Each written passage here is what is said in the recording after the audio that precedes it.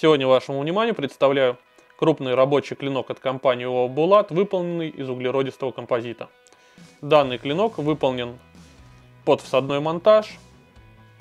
Из себя клинок представляет достаточно удобную форму, имеет удобную подпальцевую выемку для деликатных работ.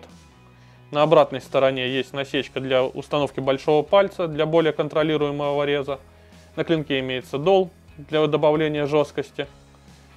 Обух изначально достаточно толстый, но с учетом того, что от двух третей клинка идет спуски на обе стороны, это позволяет ножу иметь отличные проникающие способности.